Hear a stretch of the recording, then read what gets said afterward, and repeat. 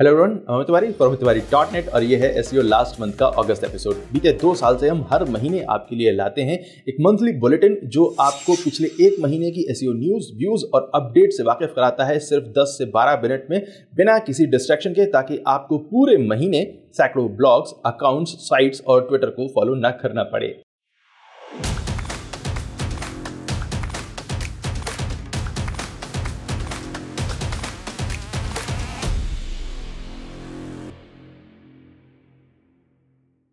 दो साल पहले जब हमने ये सीरीज़ शुरू की थी तो इस तरह का कुछ भी अवेलेबल नहीं होता था और हमें नहीं पता था कि ये सीरीज़ इसलिए हम एक वीडियो सीरीज़ शुरू कर रहे हैं आज से एस लास्ट मंथ इसकी ज़रूरत है भी या नहीं है स्पेसिफिकली हिंदी में, क्योंकि एक कॉन्सेप्ट हमारे यहाँ चलता है कि अगर कुछ अच्छा कर रहे हो तो इंग्लिश में ही करो।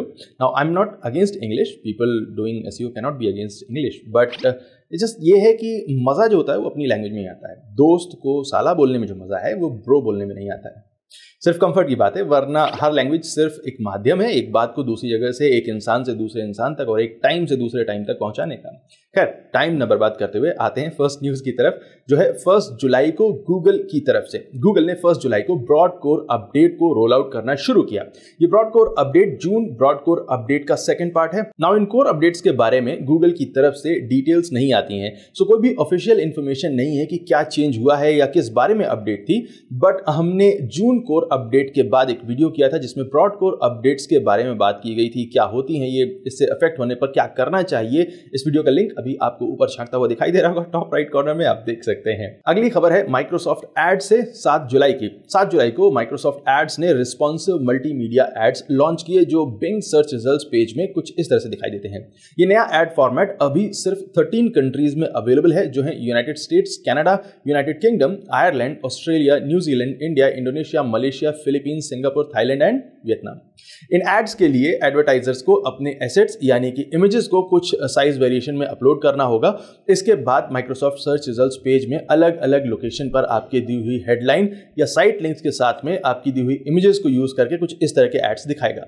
एंड ये काफ़ी अच्छे भी लगते हैं। खुद की सिलेक्टेड इमेजेस के साथ अपने साइट लिंक देखने में अच्छे लगते हैं बट इस तरह से ये जो ऑर्गेनिक सर्च रिजल्ट्स में दिखाई दे रहे हैं, मुझे नहीं लगता है कि गूगल इस तरह के ad format search results page में अपनी तरफ़ से कभी भी लाएगा बट हु नोज़ अगली खबर है 9 जुलाई की गूगल की तरफ़ से। गूगल के जॉन म्यूलर ने ऑफ़िस आर सेशन में बताया कि गूगल अब सॉफ्ट 404 को डेस्कटॉप और मोबाइल से अलग अलग डिटेक्ट करता है। ये एक नया चेंज है सो ऐसा पॉसिबल है कि आपके सर्च कंसोल में आपकी साइट के जो सॉफ्ट 404 का स्कोर है नंबर है, वो अब बढ़ गया हो। एक्चुअली में अब गूगल पेजेस को डेस्कटॉप और मोबाइल दोनों से अलग अलग तरीके से टेस्ट करेगा। इसके बाद सॉफ्ट फोर का काउंट दिखाएगा।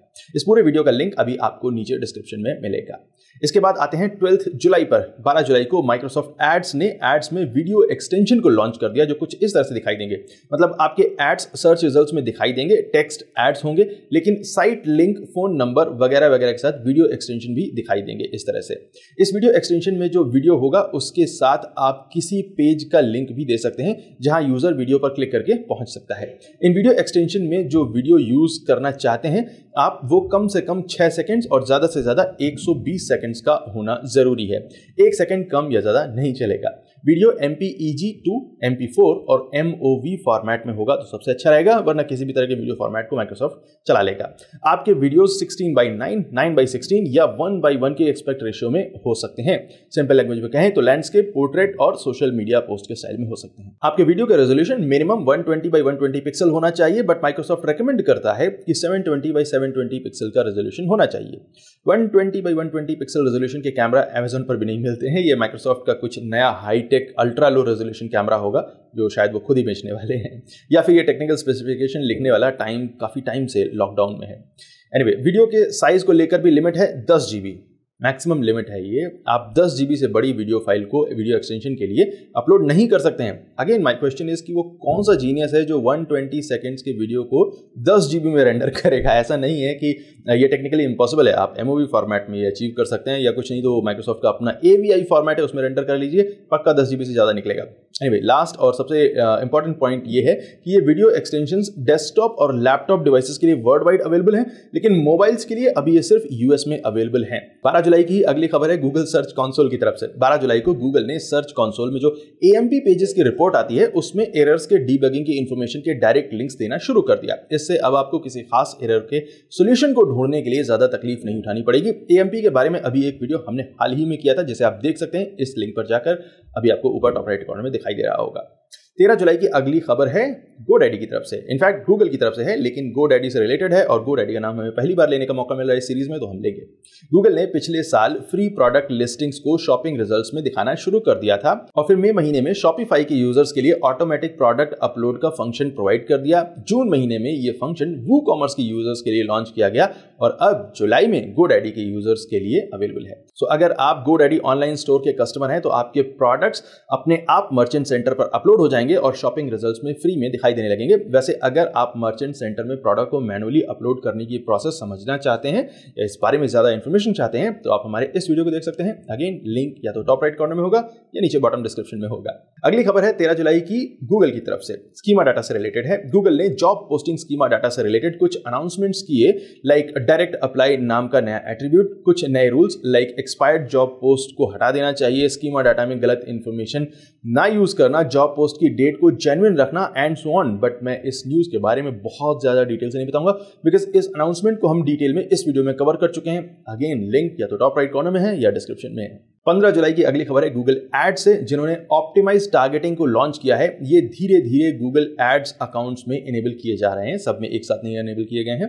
गूगल एड्स में आप अपने कैंपेन के लिए डेमोग्राफिक सेट करते हैं राइट नाउ अब नया चेंज ये किया गया है कि अगर गूगल को ये पता चलता है कि आपकी सेट की हुई डेमोग्राफिक सेटिंग से अलग यूज़र्स भी आपके एड को यूज़ कर सकते हैं, उनके पास डाटा है अगर तो आपको अच्छा कन्वर्जन मिल सकता है अगर इनसे तो गूगल ऑटोमेटिकली इसे इनेबल कर सकता है। ऑटोमेटिकली ऑप्टिमाइज टारगेटिंग को इनेबल करने का प्रोसेस आपको यहाँ इस पेज पर मिलेगा। 20 जुलाई को गूगल ने मैथ सॉल्वर्स टाइप की स्कीमा डाटा की रिपोर्ट को गूगल सर्च कंसोल में लॉन्च करने का अनाउंसमेंट कर दिया। मैथ सॉल्वर्स टाइप का स्कीमा डाटा गूगल ने 25 मार्च 2021 को एजुकेशनल वेबसाइट्स के लिए लॉन्च किया था। स्कीमा डाटा को बनाने और यूज़ करने की स्टेप बाय स्टेप प्रोसेस को हमने इस वीडियो में आपको एक्सप्लेन किया है, जिसका लिंक अभी आपको दिखाई दे रहा होगा टॉप राइट कॉर्नर में या इस वीडियो के डिस्क्रिप्शन में मिलेगा।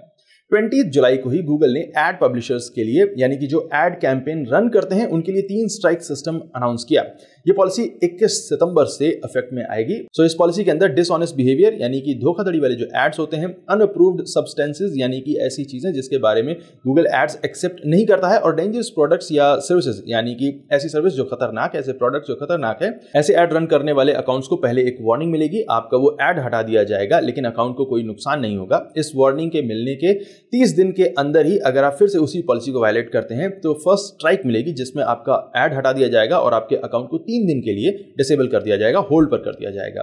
ना अगर फिर भी सेम पॉलिसी को कोई अकाउंट नाइन्टी डेज़ के अंदर अगेन वायलेट करता है तो अकाउंट को सात दिन के लिए डिसेबल कर दिया जाएगा और एड्स हटा दिए जाएँगे।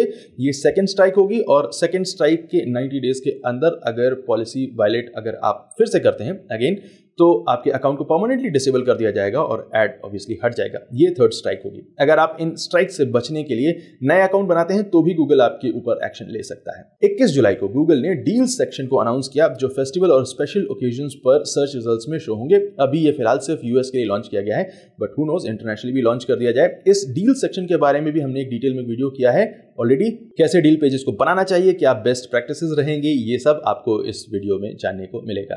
जुलाई महीने में गूगल में दो बग भी दिखाई दिए, जो थे एस e में रिव्यू स्निपेट्स का ना दिखाई देना और सॉफ्ट 404 की एरर्स गूगल सर्च कंसोल में कुछ ज़्यादा दिखाई देना। 22 जुलाई को गूगल ने रिव्यू स्निपेट वाले इशू को एक्नॉलेज किया और 23 जुलाई को सॉफ्ट 404 इशू को उन्होंने एक्सेप्ट किया। इसके बाद आती है 26 जुलाई 26 जुलाई को गूगल ने लिंक स्पैम अपडेट को रोल आउट करना शुरू कर दिया। लिंक स्पैम अपडेट ऐसी वेबसाइट्स को मैनुअल और और एल्गोरिथमिक पेनल्टी देगी जो एफिलिएट और गेस्ट पोस्ट में स्पॉन्सर्ड रिलेशन एट्रीब्यूट को यूज़ नहीं कर रहे हैं। ये पेनल्टी इनकमिंग और आउटगोइंग दोनों तरह के लिंक्स पर दी जाएगी। इस अपडेट के बारे में हमारे दो काफ़ी डिटेल्ड वीडियो हैं जिन्हें आप देख सकते हैं। सत्ताईस जुलाई को गूगल एड्स ने अनाउंस किया कि अगर किसी अकाउंट के एड्स इंडिया में दिखाए जा रहे हैं, लेकिन उस अकाउंट का बिलिंग एड्रेस इंडिया में नहीं है तो गूगल ऐसे अकाउंट से दो एक्स्ट्रा चार्ज करेगा, जो इंडिया रेगुलेटरी ऑपरेटिंग कॉस्ट होगी। ये आपके बजट से एक्स्ट्रा होगा। सो अगर आप सौ डॉलर के एड चला रहे हैं तो आपसे गूगल 102 डॉलर लेगा। बट ये सभी एडवर्टाइजर्स को नहीं देना होगा, ये सिर्फ़ उन्हीं को देना होगा जिनका बिलिंग एड्रेस इंडिया में नहीं है, लेकिन एड्स इंडिया में शो किए जा रहे हैं। ये चार्जेस एक अक्टूबर 2021 से एप्लीकेबल होंगे। 27 जुलाई की अगली खबर है इंस्टाग्राम से। इंस्टाग्राम ने अनाउंस किया है कि अंडर एज यूज़र्स यानी कि जिनकी उम्र लीगल एज लिमिट से कम है, यानी कि इंडिया में जैसे 18 साल होती है, उन्हें इंटरेस्ट या दूसरे ऐप्स और वेबसाइट पर एक्टिविटीज़ के बेस पर एडवर्टाइजिंग के लिए कोई भी एडवर्टाइजर टारगेट नहीं कर पाएगा। इंस्टाग्राम के हिसाब से ये गंभीर कदम कच्ची उम्र के नौजवानों की प्राइवेसी को बचाने के लिए उठाया जा रहा है, लेकिन खुद इंस्टाग्राम इन्हीं कोमल बच्चों को नाचने गाने के लिए रील की सुविधा देता है। जो प्राइवेसी इंस्टाग्राम एड्स में बचाएगा, बच्चे उसे रील्स में जाकर उड़ा देंगे। और इसी के साथ इस महीने की आई मीन लास्ट महीने की न्यूज़ व्यूज़ और अपडेट्स का सिलसिला खत्म होता है। हमेशा की तरह अगर हम कुछ नहीं कवर कर पाए, कुछ भूल गए हैं तो आप हमें कमेंट्स में बताइए। अगर आपको कोई टिप मिलती है तो आप मुझे ट्विटर पर बता सकते हैं। My Twitter handle is team Amit Tiwari thank you so much watching this video my name is Amit Tiwari for Amit Tiwari dot net and I will see you next time ठीक है।